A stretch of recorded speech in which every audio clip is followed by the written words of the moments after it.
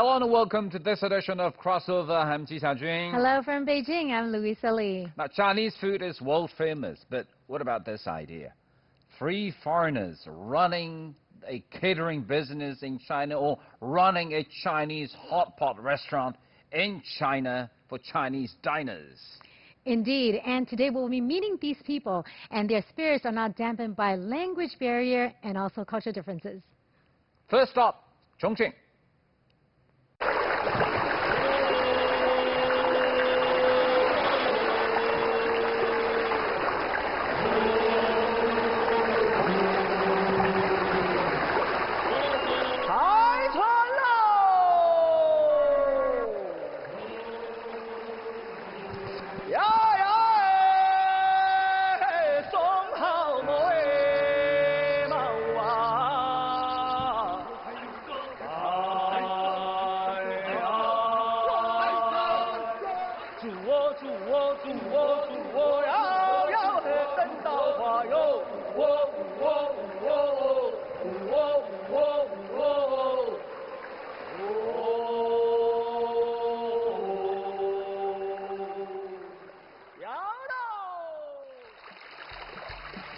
This is Chongqing, a major metropolis in southwest China, a city famous for its hot pot culture.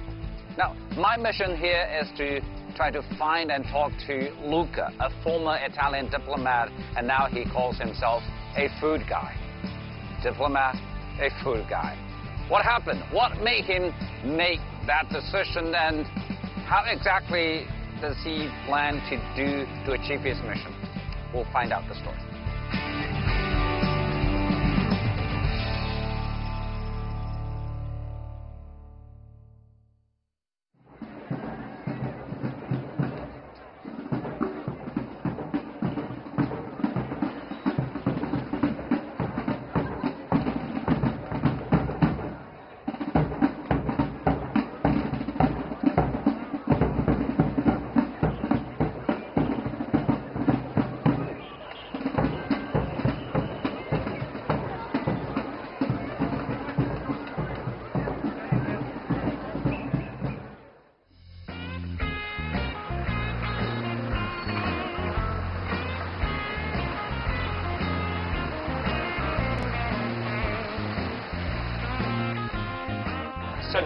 Must be Luca. Yes, how are you? Nice We're to waiting meet for you. you. Nice to meet you Good, too. Please grab a seat. Thank you.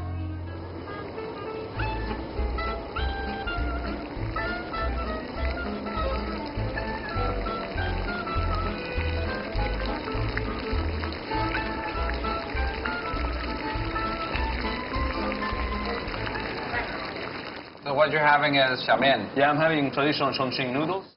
First place, you love Chinese food yourself. Uh, actually, in the first place, I didn't really like Chinese food. It was No, too, you didn't? I, I did not like Chinese food. It was too far away from my culture. But then, you know, once I got into the, the local culture by speaking Chinese and talking to local people, Mm. I kind of understood, you know, the, the, the value behind it. So I got closer to Chinese food. Mm. But I think that yeah, the most interesting thing about the Chongqing noodle is its spices. Mm. Yeah, they use lots of spices. you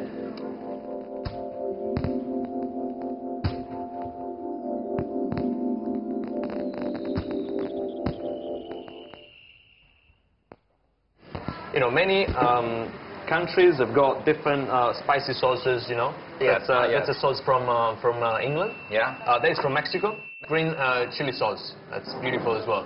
It's Yeah. a very interesting chili powder. Comes from Africa. From Africa? Yeah, it's a peri peri chicken. I think that Chinese sauces can offer even more to uh, like uh, foreign communities because they have so much spices uh, in there, spices that you know people never heard about. Yeah. And that's incredible. That's Yeah. new tastes, that's new flavors. It's opening up a, a new entire sphere for them. So what are you trying to do? Are you trying to create something like this or quite different from this? Or just like what you can find here locally? I think that Chinese food is not about takeaways and, uh, you know, uh, kung pao jiding and fried rice. I think there's much more to say about Chinese cuisine. You were a diplomat Yeah. before this Yeah. at the uh, Italian consulate. In Chongqing. What made you make the change? You got bored? Uh, well, uh, yeah, I wasn't bored, but I think there was something more interesting uh, that I could do. Right and now what, what, what do you do now? What I'm doing is actually researching about the real taste of Chinese cuisine. how do you do the research? Uh, usually in like uh, local restaurants or markets. That's what I'm doing with Chongqing sauce now. Do you want to go and have a look at it? Shall we? Let's go. Let's go to the market. Absolutely. Okay, if you get my sauces, Yeah. Okay, let's go. Right.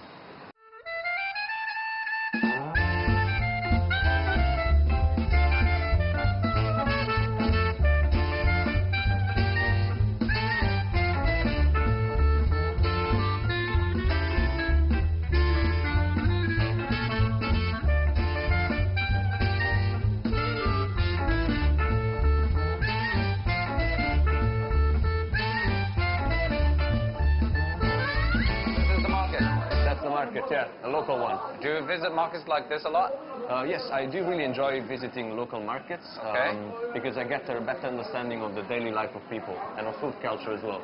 Okay, and if you try to tell the story of local Chongqing flavor, what is it and what is the story behind it? I think the story is about spicy people that make spicy food. So Chongqing people are hot. Uh, well, you know, they say that for women, you know, well, well you know, it's, uh, it's a general thing that they say. Right. But, 呃，老老板娘这么多的辣椒，这个怎么做啊？ 这个是虎皮青椒，胡皮青椒，好吃啊！上面撒点那个酱油和蒜，二荆条，二，二荆条那边对，二荆条那个做豆瓣酱吧，炒菜的。我知道重庆是炒菜，呃，四川是用来做豆瓣酱啊，你知道吗？做豆瓣酱的是红色的，红色我。但那个本来就可以变成红色啊，辣椒它是先绿变红。你看，你看拿那个二荆条，你看一下那个二荆条，它是红的，你看一下，它有一个二荆条是红的。Uh, I think we're gonna buy some of the uh, red chilies, the Yes. spicy ones, and uh, some of the green chilies, and we're gonna try and make a sauce out of it. Right, the sauce you're, you've been talking about all the time. Yes, we could do some, uh, th- we could run some uh, tests in the laboratory later on. Mm, Yeah. to decide what?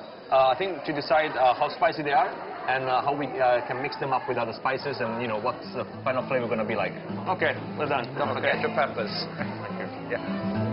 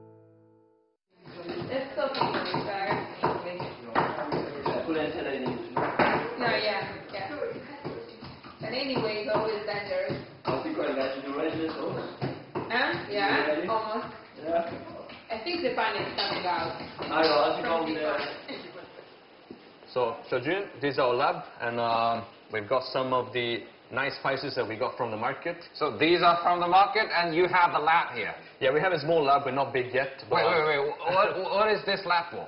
Uh, we actually researched about the amount of cap- capsaicin in, uh, inside the peppers. So by doing some uh, data analysis, uh, we came up with the spicy degree. Uh, and actually, There is a spicy degree. we do have a spicy degree for our sauces, you know. Okay. Uh, and we start from zero uh, to 75. 75 is the highest one we have now. Uh, Right. And we came up with this by analyzing uh, big data. And there is even big data about how spicy it is. Yeah, it's, it's a quantitative and qualitative analysis. So, you know, these sauces are actually the final product of, you know, these spices. Where shall I start? I think we're gonna go slowly on this. We're gonna start from the least spicy So one. 12, 12 is mild, right? It's mild, yeah.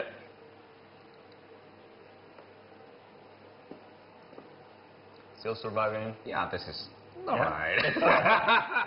Slight, slightly stronger than this and Cheers. sure, huh? After your work. Kind of a, a sweet in it. Yeah. Pao is like sweet That's and right. sour. That's good. No problem. Yeah, maybe we can start with a 45. This one? Yeah, that's right. It's getting there, huh? This is like the, um, mm, yeah, spicier than that. Uh, like the, um, the, the hot pot taste that Yeah. you're getting there, Yeah. and now I'm feeling it. Go We're gonna move on to the 55 of the same sauce. Um, You're gonna be fine. Is this the regret one? we, we're getting closer to that, you know? That's the regret That's one? the regret one, you know? It's getting there. It really Alright. wakes you up, you know? It's better than coffee, you know? In Italy we have coffee, and I think in China you guys have, you know, chili sauce. Ah, yeah, but still I can manage. Yeah. But I need some water though. Okay. I, don't, I, I don't see you crying, so that makes me feel, you know, happy. You know, they're not crying. Is it so- not coming? It's not coming. It's not coming. 75, the last one. it's Man, better you've we got to do you it. You've got to do it. You've got to do it. Yeah. Huh. I don't know if you. You go Oh, first, you know? you know? I've, I've had it before, you know, that's the reason, you know?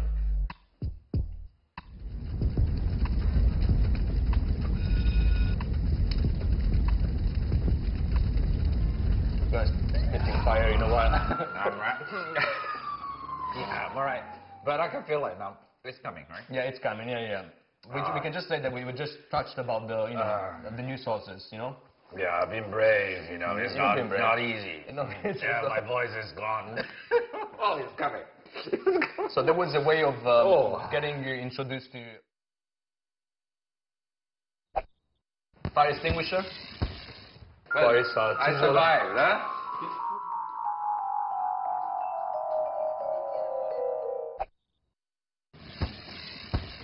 So we have um, Hong Shao Dodo. Uh, Hello, his name Hello. is Eduardo, and uh, he's working on. What are you working on? I'm just uh, uh, working on the chili paste, so the, our uh, tsuba chili paste. So I'm basically doing the uh, traditional process. Uh, It smells beautiful. Uh, you can actually smell it. It's um, it's amazing. Smells 75 degrees? Uh, that's not very fine. It's very, very Quite spicy though, yeah, quite spicy though. Yeah. So this is just chili, like pure chili Yeah. paste. Laura? Yes. Laura, we have a name for her as well in Chinese. It's, You are uh, the Laura. sweet and sour Laura. Sweet and sour Yeah, Laura. but it Yeah. is Deng Su Lao Lao. So you're a local. What are you I'm doing? making doubanjiang. And Oh, which I like. What is doubanjiang? Uh, doubanjiang is a very, it's the soul of Sichuan cuisine, I think. It is. Because um, chili pepper is the soul of Chongqing cuisine, but doubanjiang is the soul of Sichuan cuisine. Yeah. It's made in an interesting way because uh, it's made of, uh, in Sichuan, it's made with uh, dried uh, broad Bean, beans. okay. Yeah, and fermented uh, uh, chili. It's very nice the fact that in China you really do a lot of fermented food. Mario. Sauce, yeah. So this is Mario Kung Pao. Mm. That's his name because he's uh, very fond of Kung Pao chicken and You all have Kung Pao interesting names. Yeah, yeah. Uh, Uh, we're going to prepare a new sauce, Mm. so a secret sauce Yeah. using few ingredients. So we have salt. Mario, if we tell this in here, it's not going to be secret anymore. Is it- is No. so let's keep it. Yeah, we have So huge it's not followings secret, but- globally. This is your own way. Yes, my own. But it's still local or is- is it kind of Italian now? No, it's kind of international. International. Of course.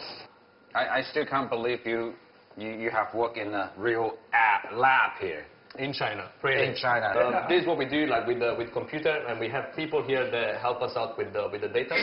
You know, even water has is, is spicy. How, how spicy is water? Uh, water is like uh, one. Uh, all elements actually have some uh, capsaicin inside. and, I um, see. Yeah. Just people just don't feel it, right? Yeah, people don't feel it, but there's you know a little content inside. And, So uh, water is one. water is one.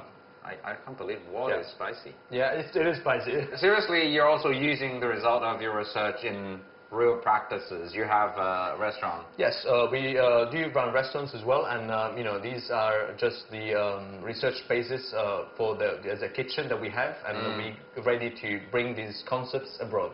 I Uh, see. yeah. I see. So I think that maybe it's time for dinner. I don't know if you're ready for that. So not just sauces. Th- There is real food, right? Not just sauces. Sauces is just the you know the the starting point Yeah. of getting into foreign's mind, telling them about Chinese food stories. Okay. But the big vision is Chinese food through restaurants abroad. Real food is on the way. Sh- can, can we? Shall we? Shall we? Yeah. Shall we? Okay. Please.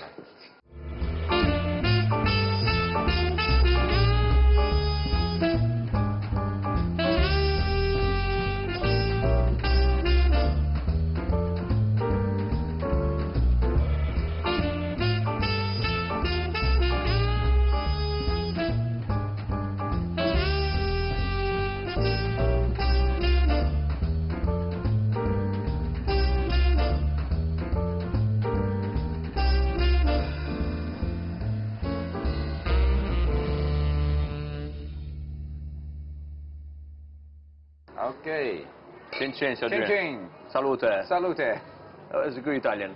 Mm. This is a hot pot restaurant? Uh, you're right, it's a hot pot restaurant run by an Italian. Um, might sounds like a joke, but it, that's reality. And you run the hot pot restaurant in Chongqing. yeah, that's one of my biggest challenge ever. But how different is it from a local restaurant?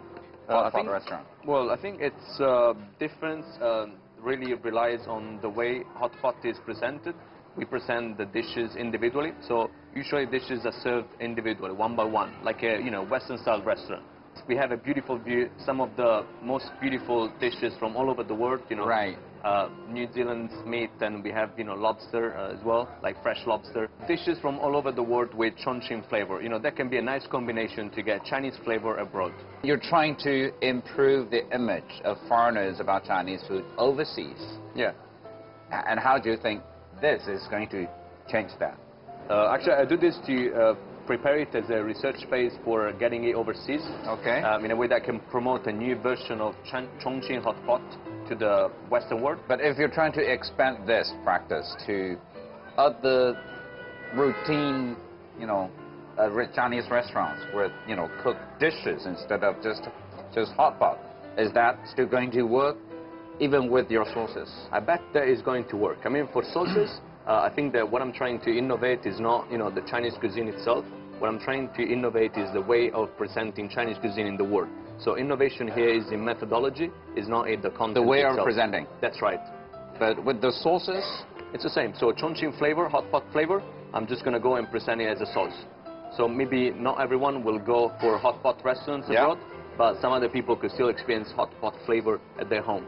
if the sauce is not the ingredient that Chinese people would have for Chinese dishes in China, how, how can you say that's a way of Chinese cooking? That Okay. you're going to use that to help your mission. I'm going to do that by not changing uh, habits, food habits of people abroad. I'm not going to do that. Um, you know, it'd be a too hard mission for me to do. But I'm going to uh, insert some Chinese flavors inside their daily routines. And I think the easiest way of doing that is by not teaching them how to cook Chinese food, maybe is telling them how to add Chinese flavor within their daily lives. And then you believe your sauces are going to achieve that. Of course, yeah, they can, yeah. All right. Yeah, uh, I would love to train foreign chefs to do Chinese food. Are you going to send them to China to get the training or have them trained in, in, in other countries? Actually, I'm going to have them trained in other countries. I'm preparing some training bases in both Europe and United States. But it's not easy. I mean, for Chinese dish, for Chinese cooking. I have to say that it wasn't easy for uh, chefs that were learning how to make Italian uh, food. Same thing. It was the same thing, you know, tomato sauce, I'm going to use it. I'm going to use mozzarella cheese and all of that. It was a tough challenge. But now we get, you know, very good uh, international chefs that make beautiful Italian food just, a, just as Italians do. Chinese food uh, has a huge, massive historical and cultural heritage. So, you know, there's loads of uh, young chefs that are willing to learn about uh, new cuisines. And I think it's time for China now. We had Marco Polo before. Yeah, I, I, I think he, he was here for quite, quite, quite a And while. now you we know? have Luca. Oh, too far away, you know. But maybe I can I can do. Salute. Thank you. I will try my best though, you know. Actually, I have something for you before you leave. yeah. I have uh, something that will remind you of Chongqing whenever you are in Beijing or anywhere else in the world. Pepper sculpture. You're right. It's a chili pepper. It will keep you spicy for the rest of your lifetime. Okay. Please. Thank you. Thank you so much, Okay. All the best wishes. Well, and with the pepper sculpture, it's the end of my story here. I'll go, well, actually, before I go back to Beijing, definitely I'm going to enjoy my hot pot with Lucas. So see you back in Beijing. Let's, let's continue. Okay.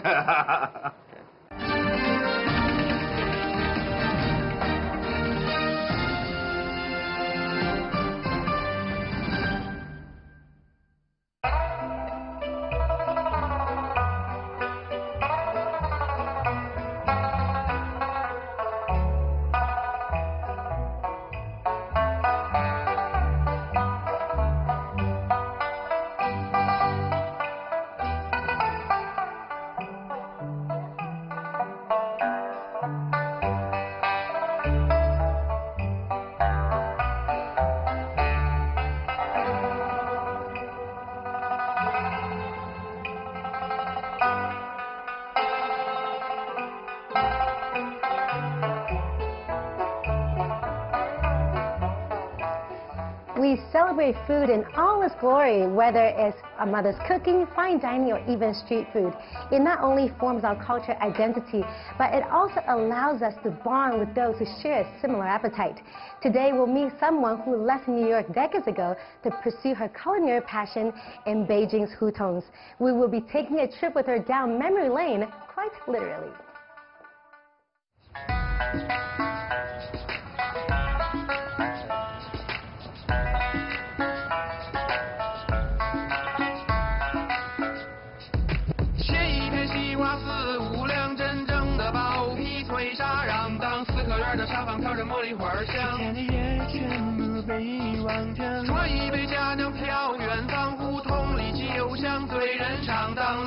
夕阳回荡波浪滚响。北京的土着有一点点感伤。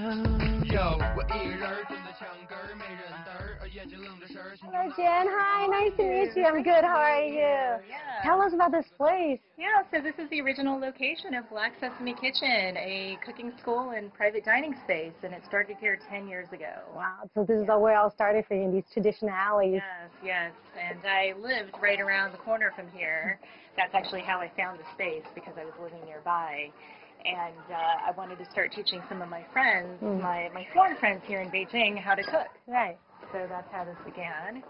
Wow, I mean, it's incredible. I can't imagine how it was for you to move from the States and to live in the Hutongs. How was it like for you? It was quite different. You know, I had to trade in a car for a bicycle, for example, because, you know, These little alleys you gotta snake through, fit right? anywhere. Yeah. And, uh, you know, it was very different 10 years ago here. There were a lot uh, fewer people, a lot fewer stores, a lot of people on the streets playing mahjong Mm. and vegetable hawkers and all kinds of local life. Um, It was more like a community back then, rather than right now it's very touristy and very it was a commercial community. I mean, in this courtyard here lived eight families Wow. all together. You know, just how neighbors are really close and living right next to each other in small spaces. And, you know, this is where I learned how to uh, wrap dumplings. And I also uh, learned about Chinese cheese here. Yeah, so where it all we began check for you. Yeah. Chinese cheese? Yeah.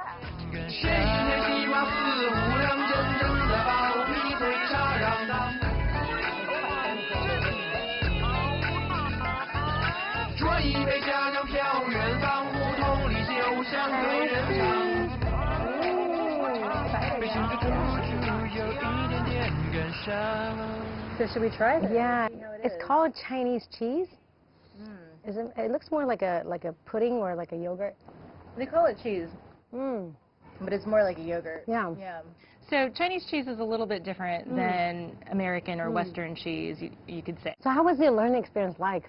I mean, you came all you know, you came all the way from the states here to learn cooking. It was a challenge. I mean, I went to a local cooking school in the Hutongs with lots of young uh, migrant workers who were looking for jobs in restaurants, and my teacher didn't like me because How come?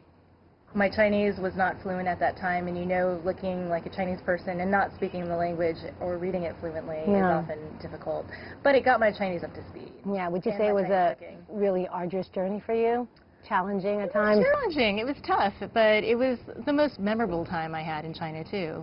Yeah. Did you ever want to give up or just, you know, I'm, I'm done with this, I want to head back home and go back to the States and, and maybe have an office job there, 9 to 5? No, no, no. I wouldn't trade it for anything. No, the life I've had here has been amazing. And even though my parents weren't super supportive of me in the beginning, I think they came around to the fact that I needed to find my own path. Yeah. Yeah. And you came here alone, right? Yes, I did. I so, did. so was it lonely at times? Did you find anyone you could talk to or consult with, or, or did you have a mentor here? I did have a mentor. Her name is Teacher Wong, and we're going to go to her house to uh, show you how to make dumplings. Right, I'm excited. Okay. Yeah, let's go. Okay. Here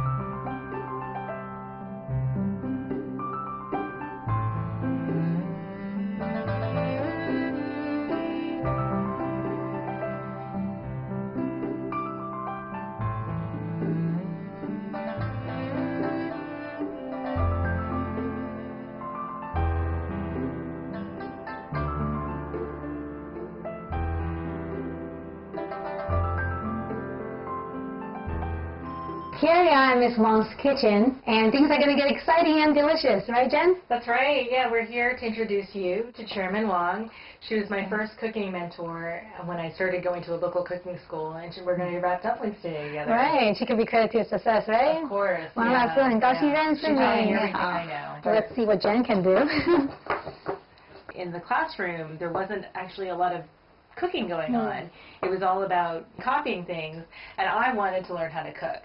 So Wang Lao Shi uh, helps me by you know actually giving me practical cooking lessons Mm. first at the cooking school, and then we moved to her home. So you guys had some private sessions together. Yes, we had a lot of private sessions. 你还记得以前我在那个学校里面，他们不懂我是美籍华人，啊他们以为我是本身的中国人，啊然后我每天在那边抄那些字，啊他们就 认为我是 我是我是笨蛋。按中文底子他不行，我要再不帮他，他就根本跟不上了。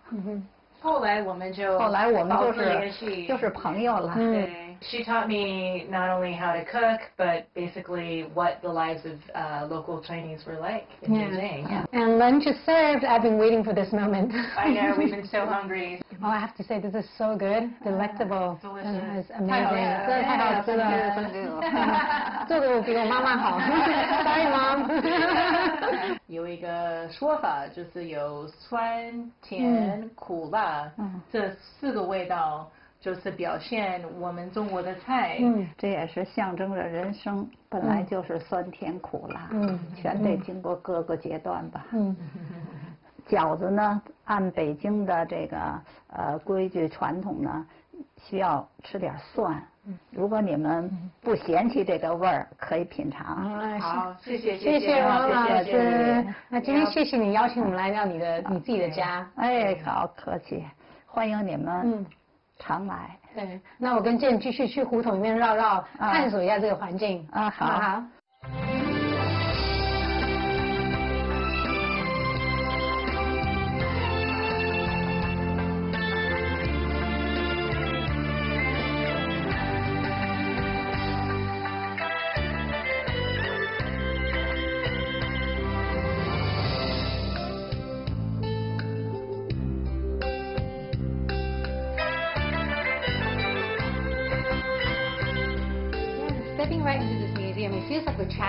back to the past. It does. It really does. I mean, I used to have a bike just like that when I biked to the hutongs um, in my to my cooking school in the hutongs. And Yeah. how about that cookie jar? I remember all the Asian families had like cookie metal boxes, and we The open it. cookies. and- yeah, but it's like a, a sewing kit or something. Right, right. Right? We used to preserve them for other uses. How people would just kind of live on the streets. It's like you have your hutong courtyard, Yes. but people are just ha- like hanging out on the Yes, streets. Yes, it was very communal. yeah, it's almost like a social gathering, right? Yeah. Yeah. Yeah. Yeah. And I see this is there's a sound of hutong room. Yeah, let's go in and Wow. hear some of the sounds.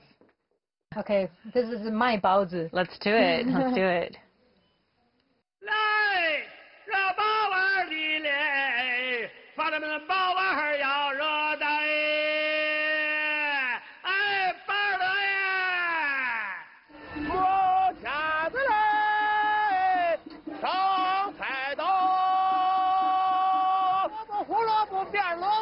论老家的香椿辣蒜嘞，好韭菜。 It has been a really amazing experience to really visualize the life of hutong. It really has. Yeah. Yeah. Are you getting hungry Yes, at all? I am, especially yeah. having hearing the sound of us selling buns. Yeah. Why don't we go to Black Sesame Kitchen? I'm excited. Yeah. Good food awaits. All right.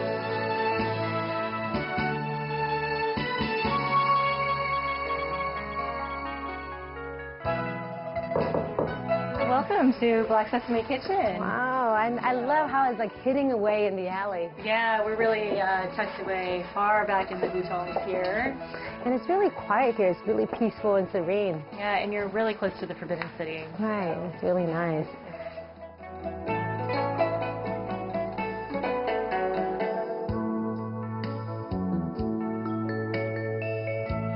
We're here with Chef Zhang 张师傅。张师傅原来是我的老板，现在变成我们是伙伴。我以前想实习，没有别的人让我实习。他到别的地方的厨房一般不让外头人进去，然后我的面馆呢，呃是比较开放的。他当时在你的餐厅，他刚开始第一个第一个任务是什么？端盘。对对对对。和面，嗯，到削面、收钱、卖面，嗯，这些他都做。其实很久你才让我摸那个面，对对对那个面是 是他的宝贝。我揉一下这个面团，然后。所以所以这现在都会了吗？对，这个 就是面粉跟水，然后张师傅已经帮我们揉了一会儿，然后。交给你削，交给高手。削，面的时候有一个特点是刀不离面，你要不要试一下？我可以试一下吗？我先，那我是要先端盘子吗？还是我先洗碗先？OK。这样，对对对对对对。那那个宽，那那宽那个宽度，啊，宽度自己掌握。宽度自己掌握。对。才刚夸夸奖完，我们就已经。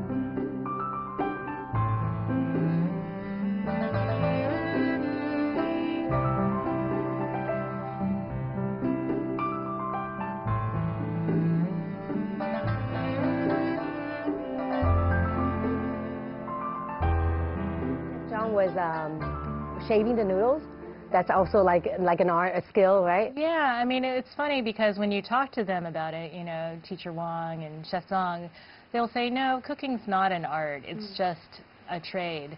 But really, from my point of view, it is an art. A lot of people say that to really experience authentic cuisine, you have to try the street food. You know, all the street food and the art that you see and things like Bingtang Hulu, the candied hawthorns, right. and got artists who do things. You have the pancakes on the street, right? The yeah. jianbing, right? Yeah, and it's all it's all an art form. Yeah. yeah. What did your mother cook at home? I mean, I'm assuming it was Chinese cuisine. I was always a little bit embarrassed when my American friends would come over and smell all the, you know, jiangyou or the soy sauce. Yeah, I feel the same way. I mean, when I was growing up, my mom would make us lunch, and we would go to school, and it would be like Asian food, and you'd be embarrassed because, you know, other students were eating, I don't know, peanut butter and sandwich, like chicken sandwich, yeah. and I would always open my lunch bag and be like, and then yeah. close it again, right? Yeah. I, mean, I remember one time when I was a kid, my mother prepared liangfen for me, mm -hmm. like the grass jelly, and kids said, ew, you're eating tadpoles. I can't believe you're eating tadpoles.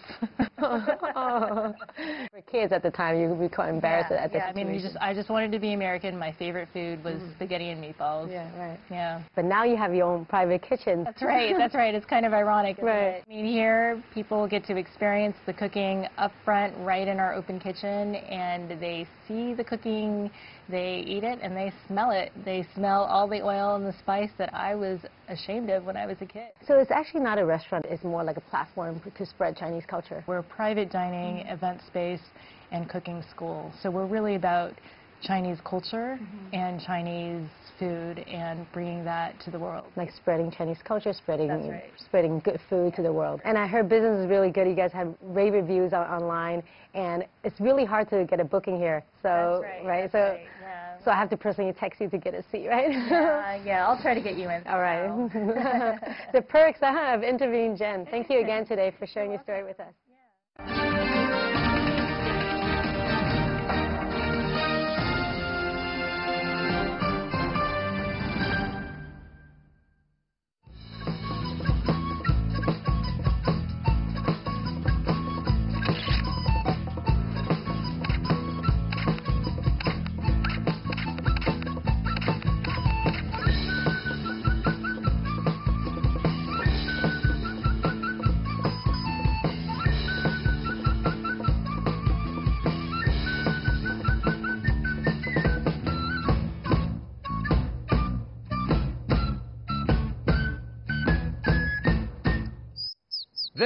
Is Dali in southwestern China's Yunnan province, and I'm here to meet a French guy, Zhou, who quit his job as a reporter to open a private kitchen in an almost abandoned old house in an old village.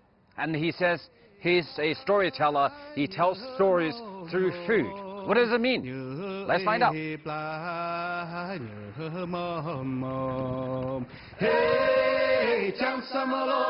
嘿，讲什么咯？嘿，嘿，讲啊什么咯？嘿，讲啊什么咯？哟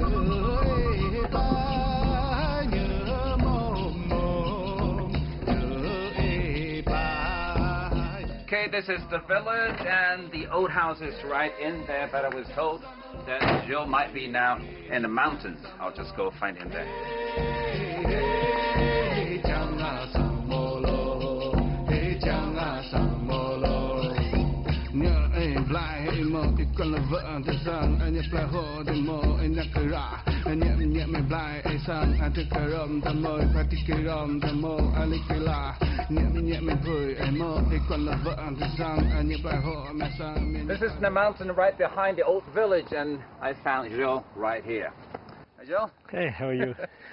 I Good didn't see you. expect to see you here. nice view. Yeah. I have to say, that's the village, right? Yeah, the village is just there. It's down It's there. 15 minutes walk from my home. Well, what are you doing here in the mountain? I'm trying to find some uh, mushrooms. I'm trying to find some herbs to cook, and of course I go there also to relax, Relax with too. friends uh, from the village. Yeah, so yeah. this is where you find some some of the uh, ingredients you use Some, some, yeah, Some- yeah, not, yeah, not all of them. No, no, not all of them. I would like to, but it's impossible. How long have you been here in this beautiful place? Five years already. Five years. You know uh, the local people too. Yeah, of course. I, and they I know you. Yeah, of course. I, sure? I mean, they all know me, and I know uh, most of them. One of them is right here, right? Yeah. Let's talk to them, see how well they know you. Yeah, 来来来，你好，你好，你好。你知这样道他在做什么吗？做一些是法菜啊，写法菜写写写作啊，口感有点 怪怪的。对，就慢慢的就习惯了。但是我们这边菜他也很喜欢吃啊。他也喜欢。对对对他去过你们家吗？啊，经常来，经常的啊每个星期最少。好像是一家人了。一家人一样哈，关系不错。对，春节也是一起过，每年呃春节也一起过。对对对每年都在一起。我听说咱们自己村民都搬到交通方便、路边的新房子去了。对。对然后一个老外，对法国人，对，跑到这个村子里面来，还找一个破房子住，你觉得这事好玩吧？好玩好玩。住那个不虽然是破房子，是那个是有呃古迹的，他有他有眼光嘛。有眼光，村子好，对不对？那我们一起去去去你那房子里面去看看。去去去去。So let's go visit your old house. Let's go. Let's go there. 走吧，我们下去。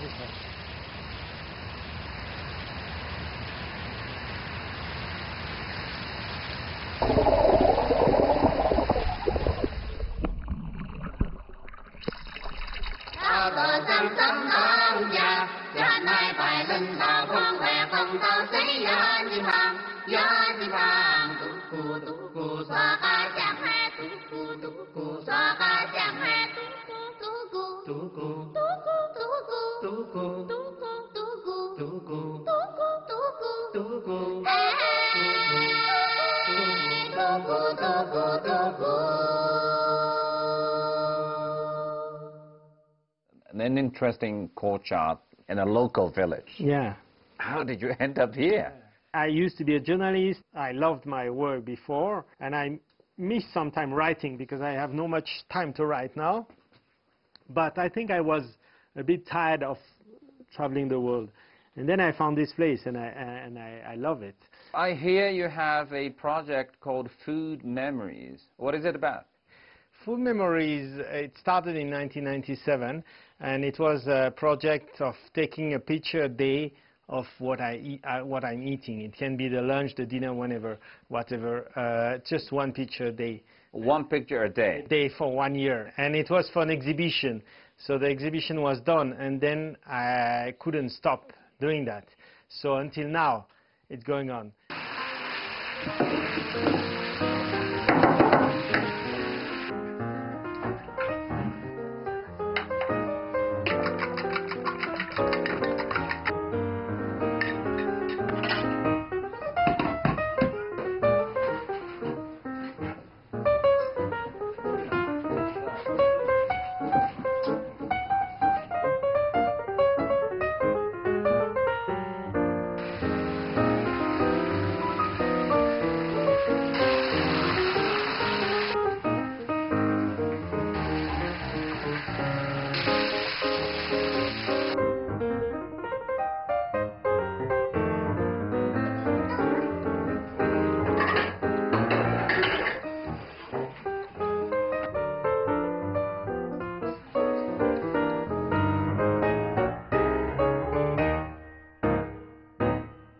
Everything is set. Not really everything because we're not seeing all the dishes, but basically the table is set and um, are we ready?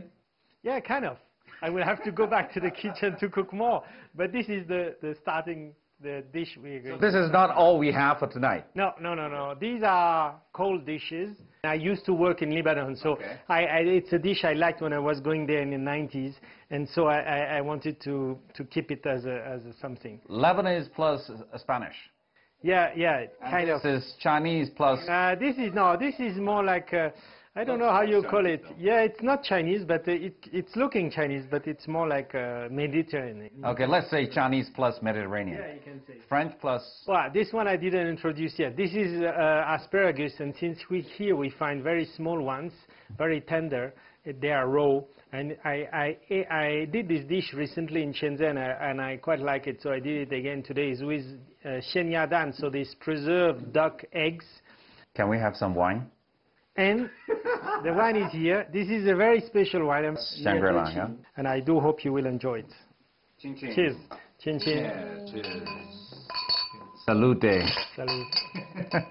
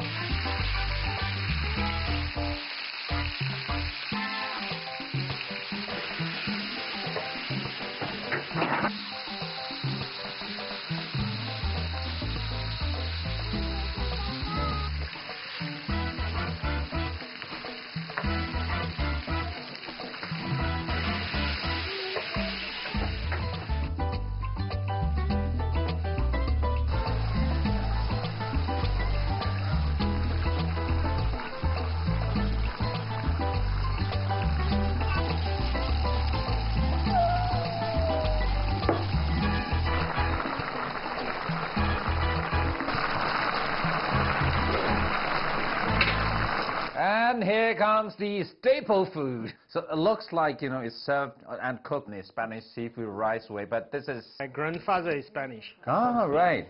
So it's part of my origin, and then I adjusted with the local ingredients. The local Yunnan ham, pork ribs.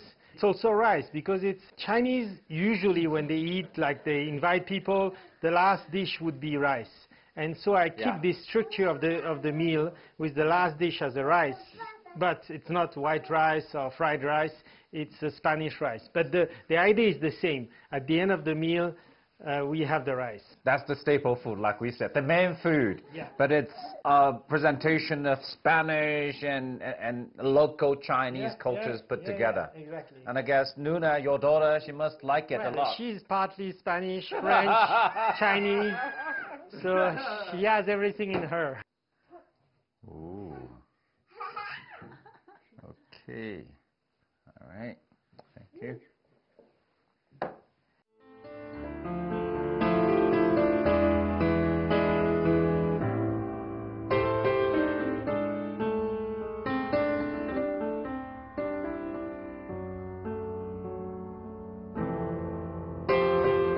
Um, so, Jill, thank you very much for your food and also, most importantly, the stories you told us about these food. What a night. Let's enjoy the food. That's most important. Let's go. and, um, ching ching. Salute. Salute. Thank you. Mm.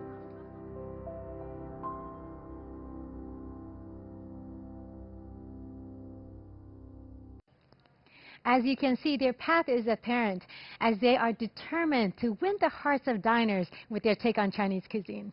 Well, in the end, it's about the food, it's about the taste, whether it's in Chongqing, in Beijing, in Yunnan, whether it's fusion or Chinese food. If the taste is good, we're happy. Absolutely. Thank you for watching. This is Crossover. See you next time. Bye.